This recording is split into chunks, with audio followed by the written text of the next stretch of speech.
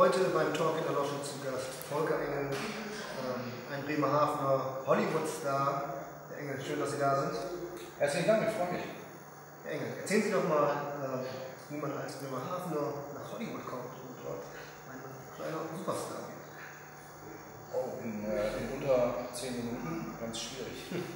ähm, das war natürlich eine lange Reise und äh, fing mit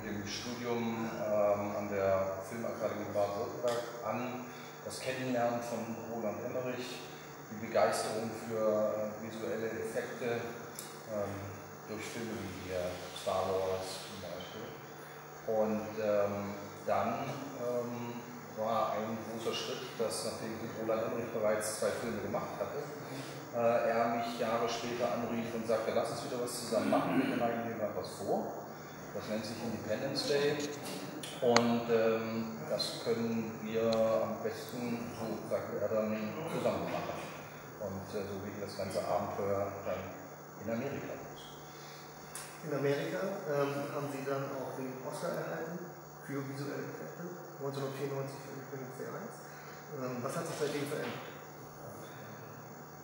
Da hat sich eine ganze Menge verändert. Ähm, da äh, haben wir damals noch sehr viel mit Modelltrick gearbeitet und ähm, 20 Jahre später haben wir kein einziges Modell mehr. Die Modelle werden inzwischen alle im Computer gebaut und ähm, das ist immer noch sehr spannend. Leider äh, fällt der Geruch von äh, äh, Farbe, Holz und anderen Materialien jetzt weg, aber dafür haben wir jetzt ungeahnte andere Möglichkeiten und können deshalb auch die Geschichten anders erzählt oder, oder auch andere Geschichten erzählen.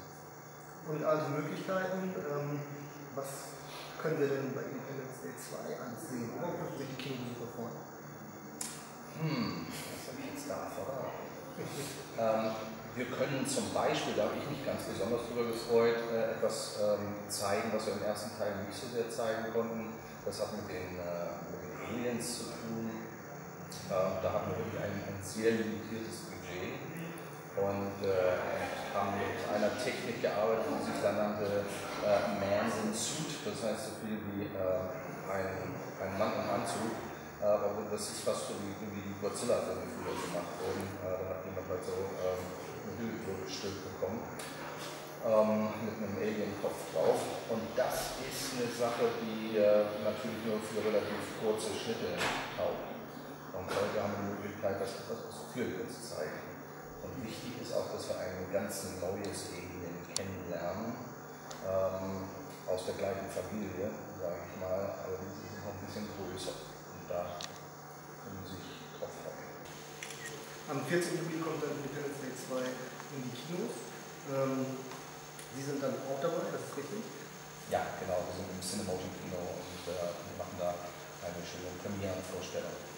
Genau, und unsere Abonnenten sind dann auch herzlich eingeladen, ähm, dort Karten zu kaufen. Die sind im Vorverkauf in der Hafenstraße 140 zu Erwerben.